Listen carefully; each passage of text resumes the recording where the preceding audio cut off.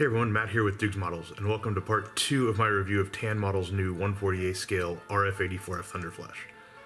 Or, as I think of it, the interesting part where I actually look at the kit, as opposed to blather on about context and the history of the actual aircraft.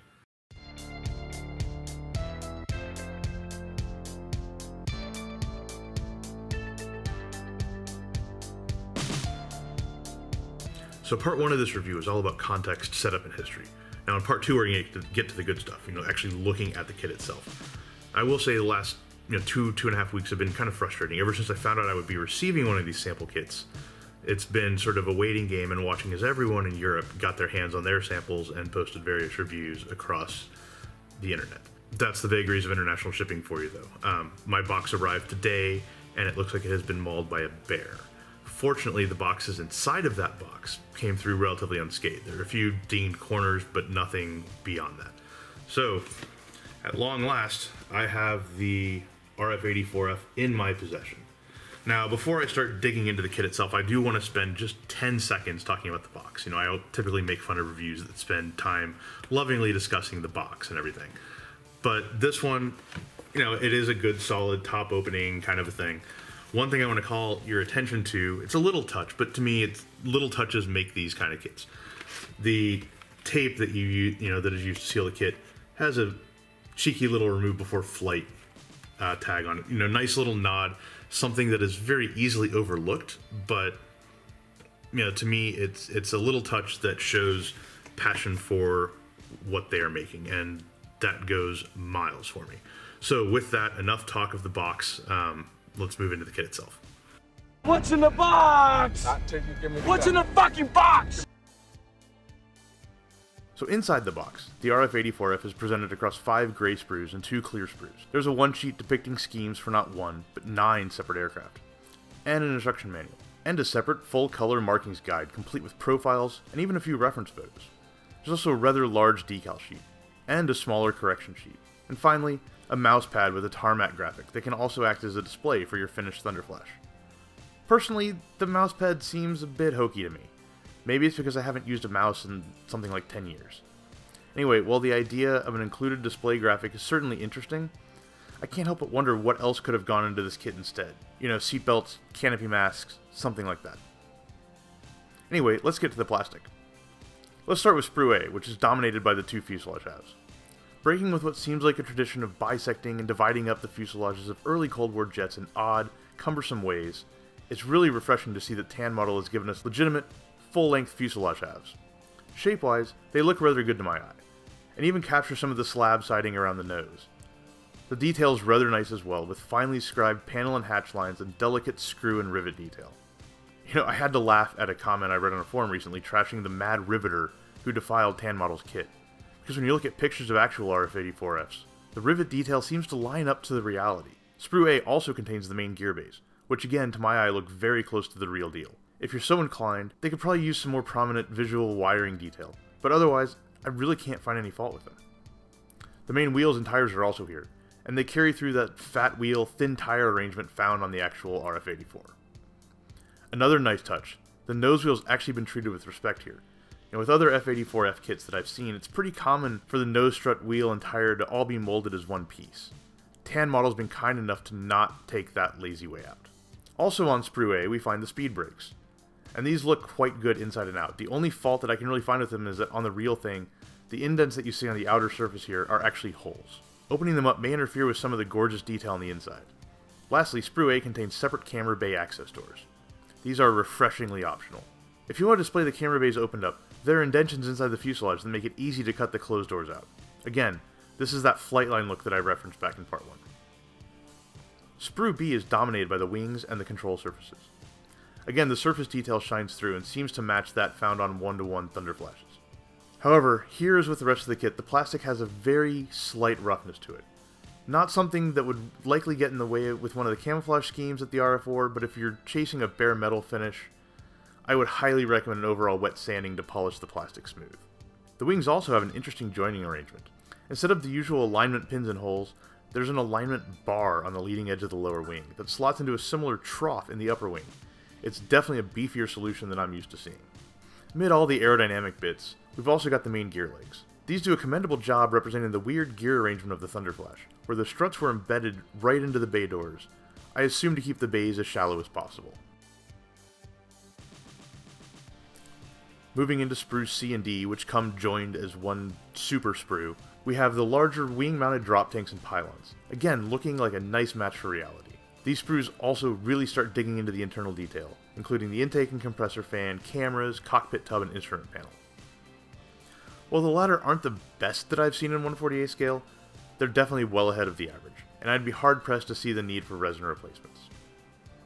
Sprues E and F, again another super sprue, contain the smaller tanks that were mounted under the intakes, as well as a rather nice nose strut. The sprue tabs look somewhat cumbersome to remove, however the detail on the strut itself looks quite good. E and F are also chock full of still more interior bits. The canopy hoist, and cameras, and ejection seat.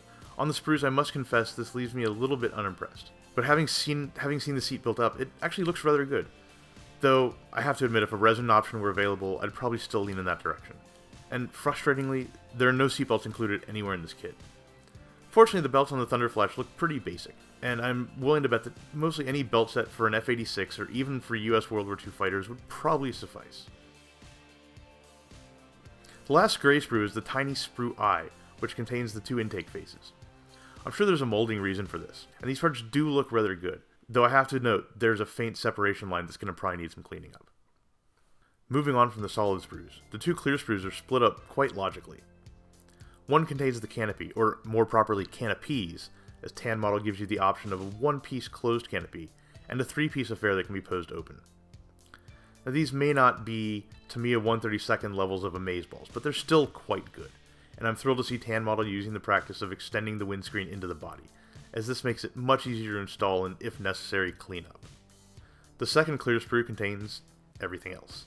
This includes the camera lenses and the camera windows that festoon the nose of the RF-84. The windows will all have to be masked, as the surrounding framing is molded with them. For the most part this should be pretty easy, but the rounded corners of the nose window may take a bit more care. Moving on, I'm going to skip the instruction manual for a moment, and take a look at the markings guide. Now this guide starts off with a detailed stencil map, which I really hope doesn't need explanation. Frustratingly, there's a little note about the included instrument panel decal, recommending removing the detail from the instrument panel itself if you want to use this decal. Yeah, I'm not going to be doing that. Moving on to the schemes, we have a bare metal Turkish RF, then a bare metal American Thunderflash based out of West Germany with some nice splashes of color on the tail, tanks, and wing fences. Next, we have a very colorful bare metal Luftwaffe example, EA-244. If I were going with the kit decals, I think this is probably the one I would consider. Yet another bare metal contender, a rather clean example from the Italian Air Force comes next followed by two bare metal French ships. The second, from the Belfort Squadron, has a pretty cool battle axe graphic, and Suez crisis bands on the wings and fuselage. Next, we jump right over the gray-green Euro camouflage and go straight to the final paint the RF-84 wore, the SEA camouflage scheme, with two examples in Greek and American service respectively. Rounding out the nine is a lone, gray-green-blue scheme in service with the Dutch Air Force. After this preponderance of markings, the guide carries on with a few helpful reference photos, something I really wish more manufacturers saw fit to do. Of course, a markings guide is only as good as the decals it's guiding, and this is where Tan Model's Thunderflash runs into some problems. While the decals do look rather nice from a distance, if you look closely, they become something of a mess. The blue on the US insignia seems a shade or two too light, for example, and the Dutch roundels have some alignment issues that, once seen, just can't be unseen. The French roundels have green centers instead of light blue, although Tan models saw fit to include some corrections on a small sheet. Still, even if you look at the big over-intake decals for the bare metal schemes, there's actually some graininess going on across all the decals. Taken as a whole, I'd have to say that the decals are far and away this kit's biggest weakness. And I guess if you're gonna have a failing, this is the place to do it, right? You know, decals are easily rectified through the aftermarket, and fortunately the RF-84F already has some pretty good representation out there. Finally, it's time to touch on the instructions, and the way the kit's engineered. The instructions are presented in a wonderful CAD layout, and are very clear with good part and paint code callouts. Helpfully, any paint needed for a given page is listed out right at the top of the page, so you don't have to deal with constantly flipping back to the front to find out what E stands for. The cockpit buildup looks perhaps a bit fussy, but it's logical and easy to follow. Again, the lack of seatbelts is a sore point for me, but sourcing something appropriate through aftermarket shouldn't be a problem. The camera bay internals look like they could be dicey. On step 24, for example, there's some rather vague fit that looks to be going on. It's hard to say without actually building the kit if this is true on the plastic as well, but you know, if you're planning on building yours closed up, alignment is probably not the biggest concern in the camera bay. One thing I really like is how these instructions pay attention to the little things. For example, not only showing you what to do, but also what it should look like after you do it. I also appreciate that on page 5, right before you start thinking about closing the fuselage, it comes right out and tells you you don't need to fuss with any weights if you've installed all the nose parts. The wings, to me, are perhaps the most interesting part of this build, as they fit to the fuselage in some rather deep grooves that should, in theory, assure proper alignment. This is reinforced by the way the intakes install into the fuselage and protrude so that they slot into the wings. If this all works, it should be awesome. But the operative phrase here is if. Awesome engineering is one thing, awesome fit, that's another. So how well did Tan Model pull off their engineering ambitions? Overall, I'd say they pulled them off pretty well. The kit does fit together well enough, though maybe not with the authority and confidence you'd find in, say, a Wingnut Wings kit or Tamiya's run of world-beating 132nd kits. Now, a quick caveat. A test fit is by its nature a rush job. Taking a bit more care to clean up some of the sprue tabs and joint areas would probably improve matters a bit, and by skipping the majority of the internals, I'm almost certainly introducing levels of play that won't be present when building the thing up for real. That said, the fit's good, but not jaw-droppingly great. For example, the fuselage halves go together well, but up around the nose there's a bit of a step. Not a big deal, easy enough to clean up, but still good but not great.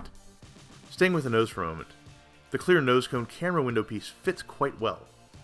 However, it's lacking any kind of alignment tab that would be really helpful making sure that it's properly centered.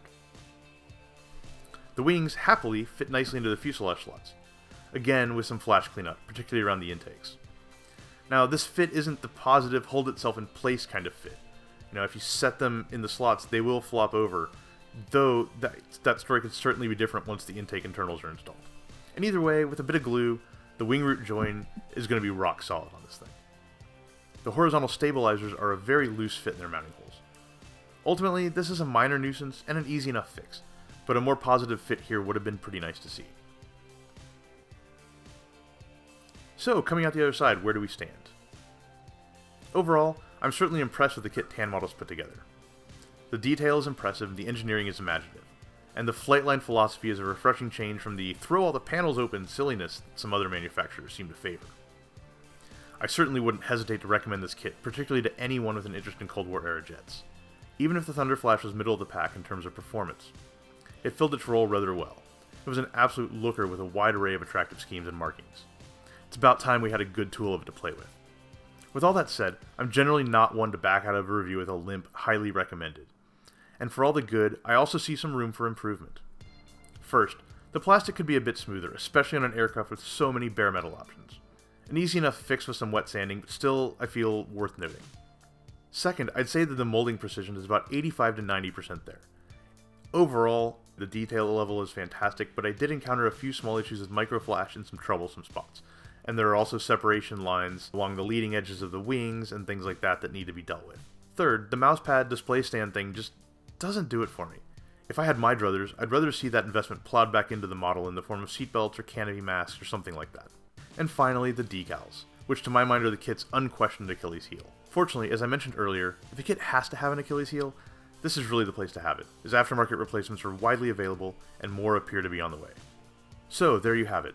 Overall, Tan Model's first 148 scale release is a very impressive opening salvo, and though I think they have a few small areas to work on, the RF-84F bodes very well for their forthcoming kits. Again, if you're at all a fan of Cold War aviation, I'd urge you to give this one a look. I'd also like to thank Barris Tanzoy and Tan Model for graciously providing a sample for me to blather on about. It's been an absolute pleasure, and look for the kit to be hitting my bench hopefully sometime soon. Until then, model on, dudes.